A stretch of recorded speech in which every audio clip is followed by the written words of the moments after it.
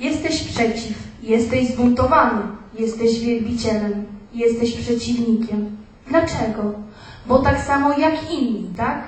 Gdy nienawidzą, ty też nienawidzisz. Gdy potępiają, ty też potępiasz. Gdy skazują kogoś i ty skazujesz. A co to jest Maryśka? Czy to imię dziewczyny? Ale co to jest Maryśka? Chciałbym wiedzieć. Ucieczka? Przed czym uciekasz? Ja kocham życie.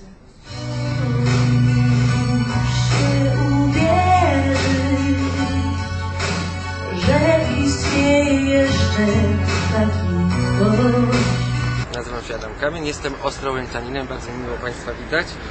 Aczkolwiek szkoda mi bardzo, że na tej wspaniałej imprezie nie widzę publiczności, mimo że plakaty są w mieście. Wczoraj były e, pierwsze eliminacje, kategoria dziecięca Mazowieckiego, siódmego Mazowieckiego Przeglądu Teatrów Amatorskich. Zapraszamy, jeszcze dzisiaj jest szansa e, do godziny 14, a jeśli nie, no to za rok.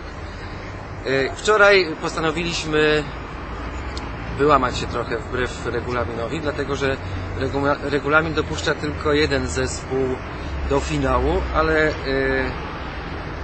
były dwa wspaniałe zespoły i pomyśleliśmy sobie z koleżanką i z kolegą, którzy razem ze mną byli w jury, z Magdą Hrabosz i Łukaszem Lewandowskim, że musimy wy, wyróżnić obydwa te zespoły. I w związku z tym e, na finał pojedzie zespół z Centrum Kultury w Troszynie za spektakl Koziołek Matołek w Matni. To był nasz pierwszy faworyt. Oraz zespół uczniowie klasy trzeciej A Szkoły Podstawowej nr 4 w Ostrowie Mazowieckiej za podróż po Europie.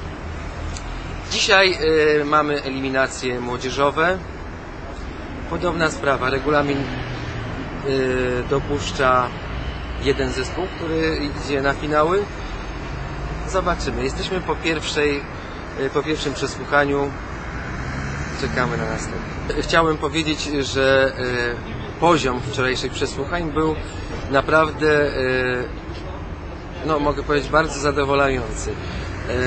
Przy takich imprezach nam głównie zależy na tym, żeby zobaczyć młodzież, która kocha scenę, kocha teatr, jakkolwiek by to nie nazywać, e, że jest to miejsce jakieś szczególne, że się bawią, pokazują świat swoimi oczami, swoim, swoją duszą, swoją wyobraźnią.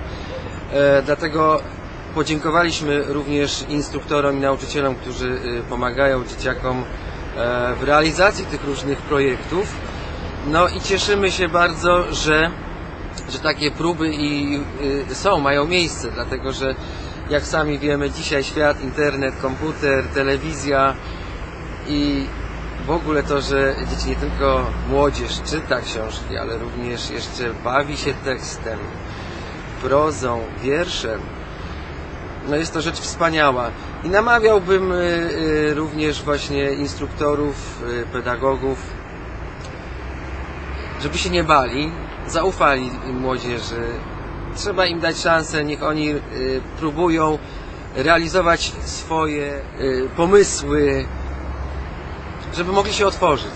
To jest wtedy najcenniejsze, najpiękniejsze.